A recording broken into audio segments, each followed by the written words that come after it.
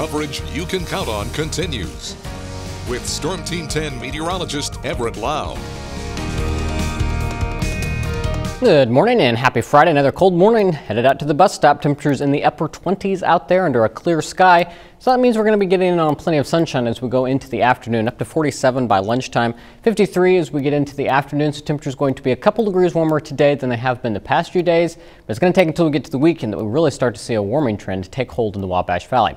Waking up this morning, we're seeing those temperatures in the middle 20s in some spots, 26 for Brazil and Rockville, 28 for Linton, 29 for Washington and Loogootee. It's 31 in Olney, 32 for Casey. Paris is at 28 and it's 25 down in Robinson. It's your forecast for today. Again, temperatures in the middle to lower to middle 50s. Plenty of sunshine out there. 54 for Terre Haute and Marshall, 53 for Toledo, 54 for Brazil. Further down to the south, just a few degrees warmer. 55 for Sumner, 56 for Lawrenceville and Vincennes, 55 over in Loogootee.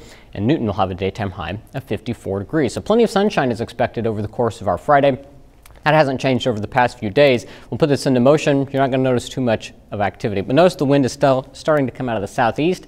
That means we'll be seeing those temperatures edge up a few degrees like we mentioned. But then as we get into the overnight hours and going into our day on Saturday, we'll see that wind continue to shift. Here's Saturday morning at 8 a.m. A few passing clouds going to be out there, but still plenty of sunshine expected as we get into the weekend.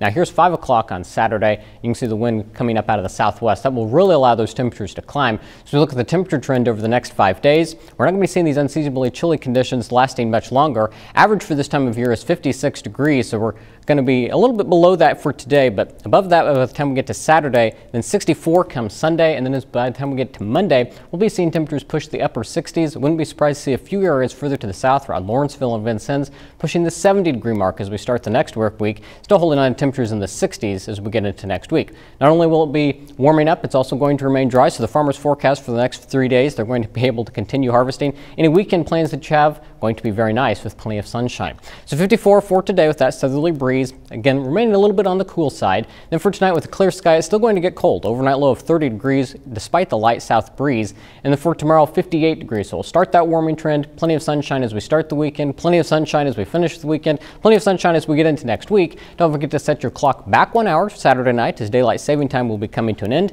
Next chance of rain slides in here as we get into Wednesday and Thursday of next week.